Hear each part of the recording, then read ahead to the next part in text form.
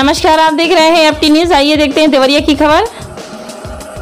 देवरिया जनपद में एक बड़ा खुलासा हुआ, जहाँ एक करोड़ रुपए से अधिक के गरीबों का खाद्यान्न को भाटपा रानी के मार्केटिंग इंस्पेक्टर राहुल सिंह ने डकार लिया और फरार हो गए। यह खुलासा जिलाधिकारी की जाँच कमेटी ने किया है। आपको बता दें कि अब गरीबों को राशन देने के लिए शासन ने डोर स्टेप डिलीवरी की शुरुआत की है, जिसमें ज़िले के विपणन शाखा गोदाम बंद हो चुके हैं, लेकिन उसमें जो पुराने खाद्यान्न रखे गए हैं, उन बंद गोदामों की जाँच के लिए जिला अधिकारी के द्वारा एक कमेटी गठित की गई है। जाँच कमेटी जब बिहार राज्य की सीमा पर स्थित भाटपारानी हाट शाखा गोदाम पर पहुँची तो चौंकाने वाला खुलासा हुआ, जहाँ स्टॉक रजिस्टर के अनुसार गोदाम में दस हज़ार एक सौ ग्यारह बोरी गेहूँ और छह हज़ार पैंसठ बोरी चावल होनी चाहिए, लेकिन जाँच कमेटी को मौके पर दो हज़ार सात सौ सैंतीस बोरी गेहूँ और तीन बोरी चावल ही मिला।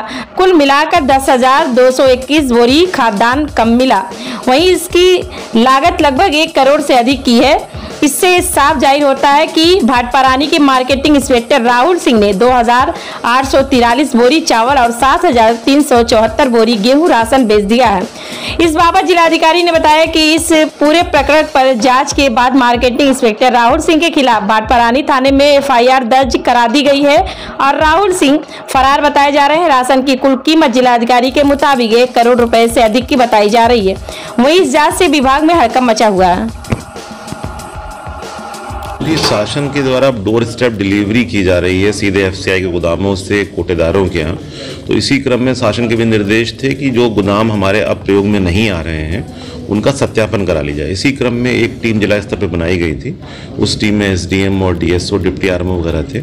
उस टीम के सत्यापन में ये पाया गया कि जो वहाँ के प्रभारी थे, उन्होंने करीब मौके पर दस हज़ार, बोरे मौके पर कम है। जो करीब पाँच हज़ार क्विंटल खाद्यान्न होता है। इसका संज्ञान लेकर हम लोगों ने तीन बटे सात में और अन्य धाराओं में उनके जो राहुल सिंह हैं जो मार्केटिंग इंस्पेक्टर उनके विरुद्ध मुकदमा लिखाया गया सर किस ये भाटपा रानी ब्लॉक है जनपद देवरिया का यहाँ का प्रकरण। कितना लगभग लागत का होगा? मार्केट वैल्यू उसकी एक करोड़ रुपए से अधिक की होगी और अगर उसके अन्य कॉस्ट जोड़ ली जाए जो फ़ूड डिपार्टमेंट की है तो एक से सवा करोड़ रुपए की कॉस्ट आएगी।